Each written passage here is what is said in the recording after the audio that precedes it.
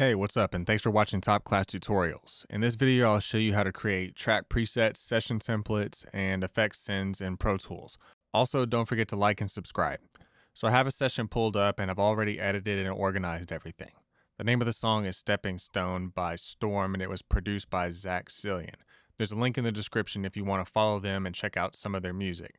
Let's check it out.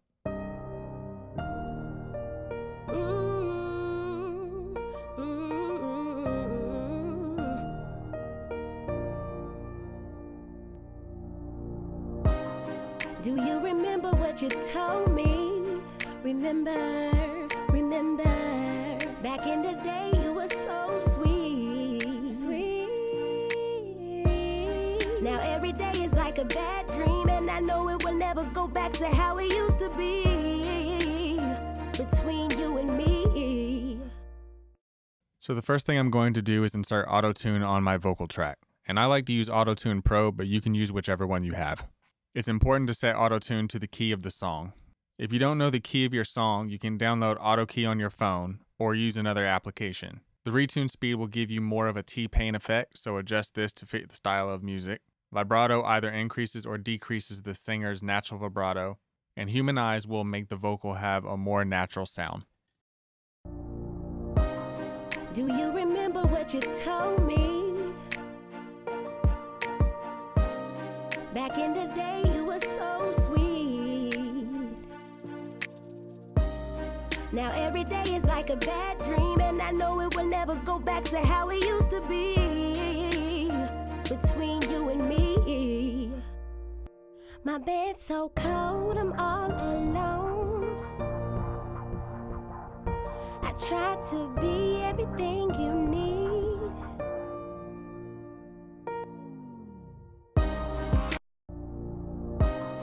Do you remember what you told me?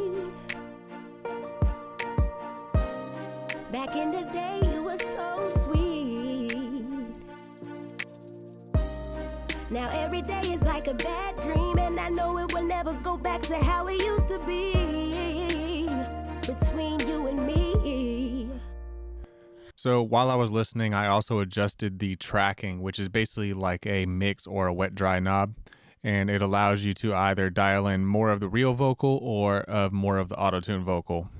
So once you have all your plugins and everything set up how you like, you can either hold down option and copy all of these plugins down to all of your other tracks, which as you can see, it could actually take a long time if you have a lot of tracks.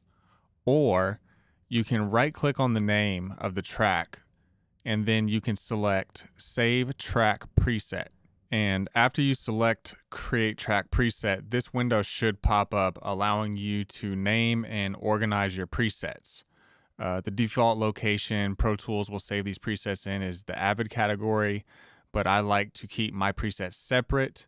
And in my TopKlass category folder, I have already saved this preset as female lead vocal. And it's important that you name these, and I'll show you why later. And if you click track data to recall, you just want to make sure that clips and media is not selected. So we'll go ahead and select OK and the tags will auto populate. And what we're going to do is select all of our tracks and then assign this preset to them. So we'll do that first by highlighting and selecting all the tracks that we want to apply this preset to. And once we've selected all of our tracks, We'll then hold down Option and Shift on a Mac. I'm not sure what it is on a PC, but we'll hold down Option and Shift and then insert a plugin and we'll just search for lead vocal female. And what this will do is automatically apply our preset. Now, this window is basically saying that there's plugins on here, and if we apply this preset, it's going to change them. And for this demonstration, that's okay. So once it loads all of the plugins to all of your tracks, all of your vocals will sound the exact same or at least have the exact identical plugins and settings on them. So this will speed up your workflow, but there is a preferred method that will do it much faster and much more elegantly.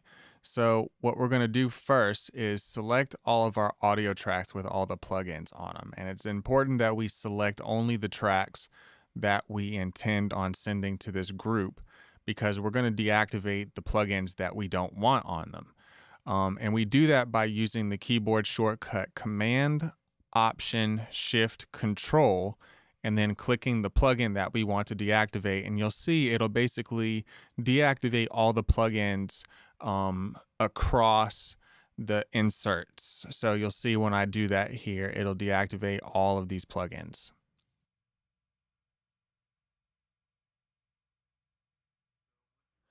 So once you've deactivated all the plugins that you don't want to keep, with all of our tracks still selected, we'll hold down Option Shift, and then on the output, we'll click on New Track, and this window should pop up.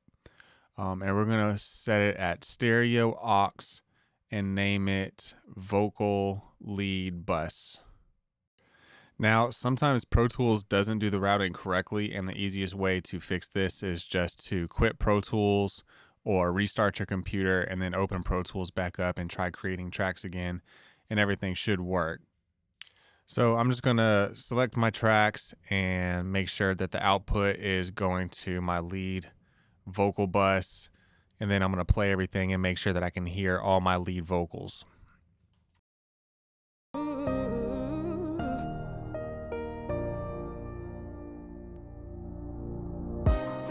Do you you told me?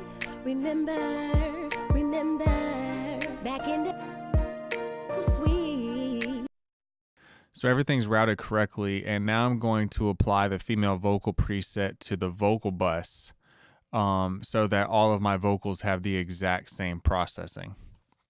So the reason I prefer this method is because now if I make a change to any of my plugins on my lead vocal bus, I know that it'll be applied to all of my vocals and it saves me a ton of time when I'm mixing.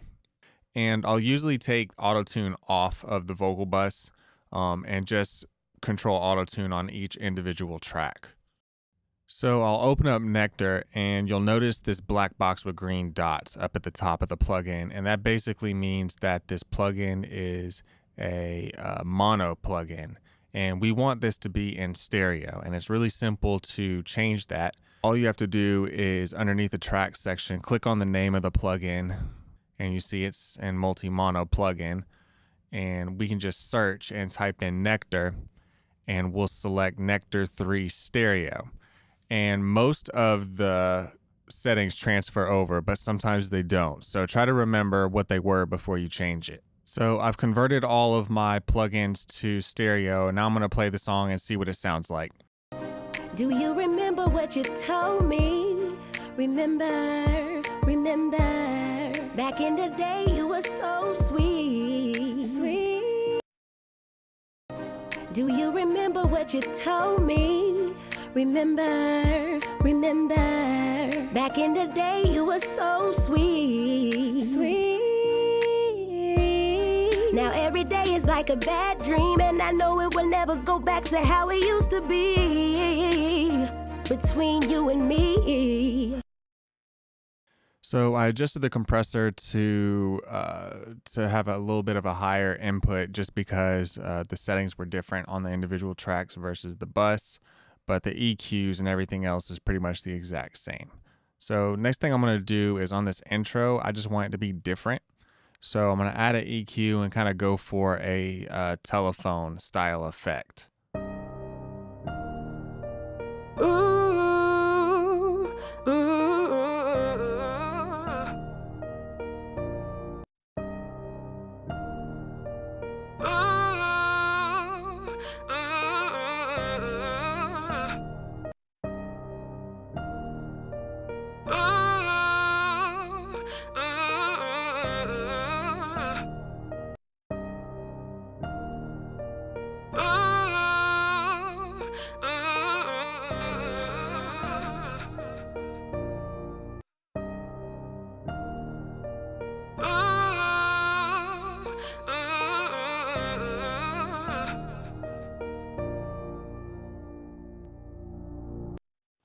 So we can do individual processing on uh, select tracks if we want to, or process everything together, just depending on what you're going for.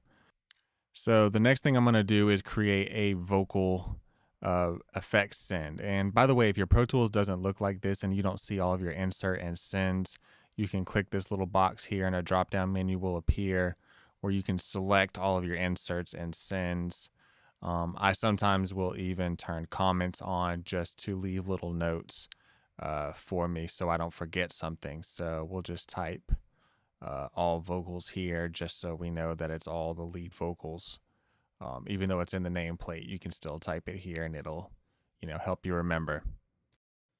So same thing with when we're creating a vocal bus, we just want to go into the send section and click on new track and we're going to do the same thing, stereo vocal or stereo aux input, but this time we're going to name it uh, lead vocal reverb. And this fader will pop up and basically this is how much signal you're sending uh, to this channel for affecting and reverb. And I'm just going to use the default reverb plugin, which is D-Verb. Um, I have a ton of other ones that I really like a lot more, but just for this example, I'm going to use this one and I'll set it to a large plate and set a really large decay time. And I'm going to turn this send up and down after I solo out the vocal so that you can just kind of see and hear how it's all working. Do you remember what you told me? Back in the day, you were so sweet. Now every day is like a bad dream, and I know it will never go back to how it used to be between you and me.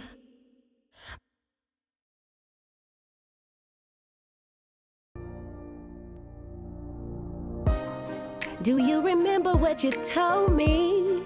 Remember, remember, back in the day you were so sweet, sweet. So now if I want to add some delay, I do the exact same thing. Go to send, new track, stereo aux, lead vocal delay, and I'm going to use the default delay plugin, which is Mod Delay 3. And I'll set it on either a, a half note or a whole note, um, just depending on what I'm going for.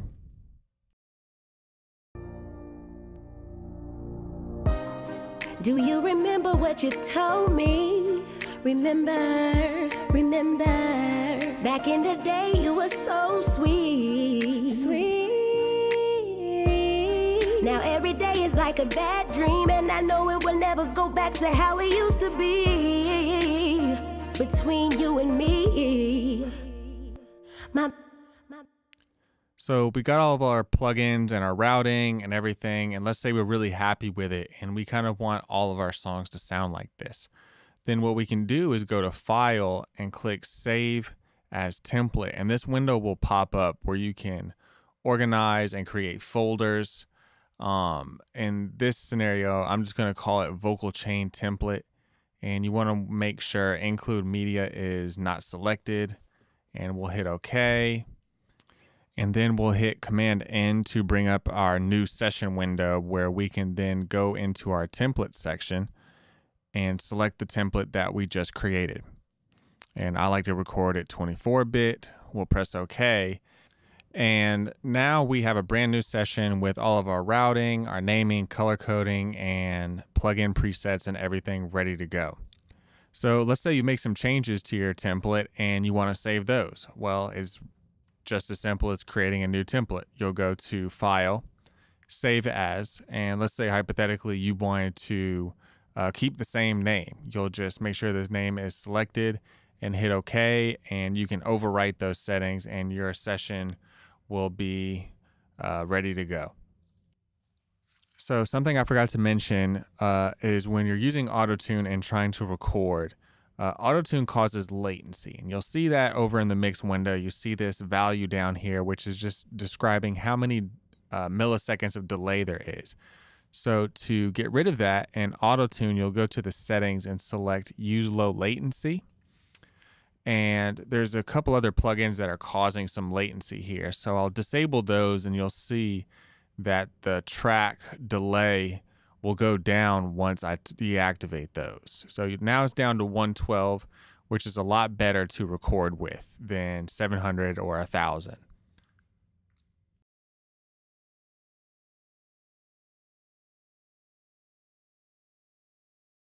And now I will engage it and you'll see that now everything uh, is working and I have my templates and everything like that.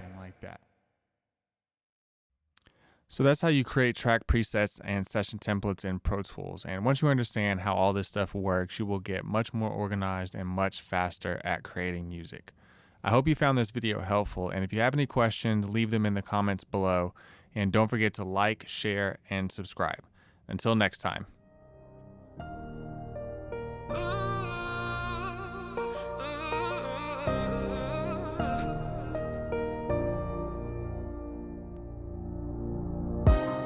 Do you remember what you told me? Remember, remember, back in the day you were so sweet, sweet. Now every day is like a bad dream, and I know it will never go back to how it